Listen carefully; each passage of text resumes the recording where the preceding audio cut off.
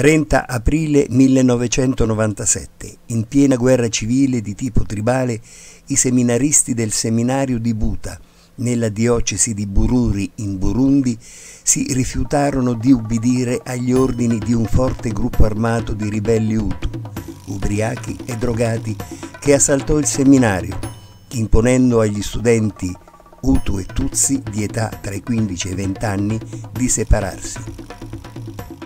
Gli Hutu da una parte, i Tutsi dall'altra, ordinò il comandante dei ribelli.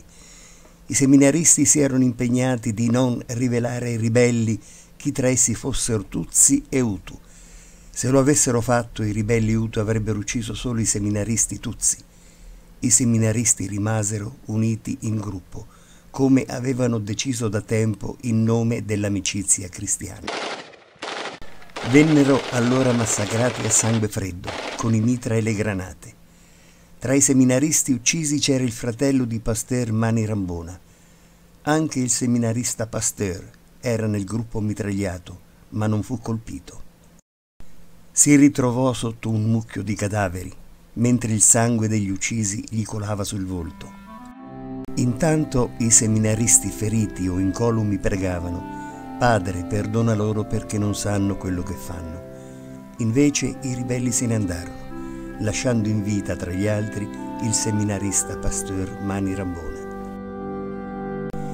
Dio ha permesso al seminarista Pasteur di rimanere in vita per poter essere sacerdote e giungere qui a Corridonia per aiutarci col suo ministero a camminare sulla via della salvezza.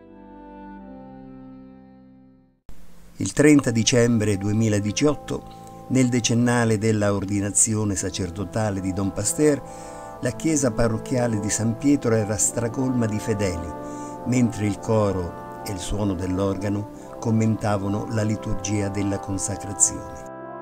Don Pasteur è amato e stimato, come sono amati e stimati gli altri sacerdoti africani, insieme al parroco Don Fabio Moretti.